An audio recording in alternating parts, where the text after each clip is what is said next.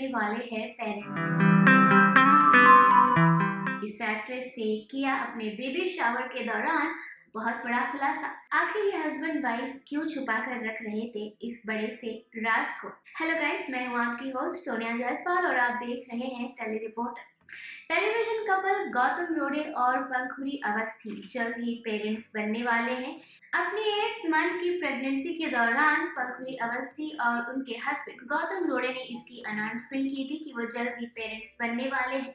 ऐसे में एक और बहुत बड़ी खबर सामने आ रही है। इनकी प्रेगनेंसी को लेकर वो ये है कि पंखुरी अवस्थी जुड़वा बच्चों को जन्म देने वाली है। जी हाँ Pankhuri Awasthi twin babies expect कर रही हैं। हाल ही में उनकी गोद भराई की रस्म हुई, जहाँ पर पंखुरी अवस्थी गोल्डन कलर की साड़ी में बहुत ही ज़्यादा खूबसूरत लग रही थी।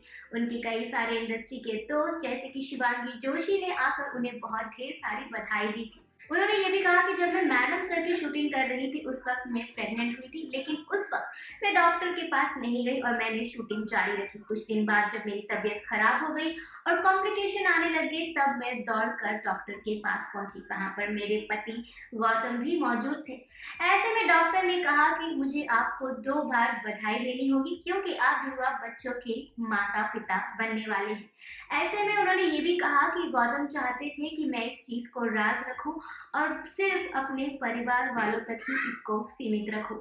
ऐसे में हमने चीज़ें बहुत प्राइवेट रखी हैं। पंखुरी ने ये भी कहा कि वो बहुत ज़्यादा खुश है कि वो जुड़वा बच्चों को जन्म देने वाले हैं, क्योंकि उनका मानना था कि वो जुड़वा बच्चों की माँ ज़रूर बनेगी। वो हमेशा से इस चीज़ को मैनिफेस्ट करती थी कि उनके लिए कितना ज़्यादा बेहतरीन होगा अगर वो जुड़वा बच्चों की माँ बने। जब वो प्रेग्नेंट हुई, उन्हें इस बात का आभास भी हो चुका था कि वो जुड़वा बच्चों की माँ बनने वाली है। ऐसे में गौतम और पंखुरी अवस्थी बहुत ज़्यादा खुश हैं। अगले महीने कभी भी उनकी डिलीवरी हो सकती है। ऐसे में पंखुरी अवस्थी और गौतम रोड़ी को आप किस तरह की विश देना चाहेंगे? हमें कमेंट सेक्शन में ज़रूर बताएँ और टेलीविज़न से जुड़ी हर एक लेटेस्ट खबरों से अपडेटेड रहने के लिए टेली रिपोर्टर को ज़रूर सब्सक्राइब करें बेल आइकन दबाना ना भूलें।